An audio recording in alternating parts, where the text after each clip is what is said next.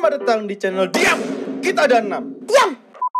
Oke guys, jadi selamat datang di channel Pak Game ya guys ya. Kita hari ini itu bakal melihat fan art fan art yang dibuat oleh para game squad guys. Wow!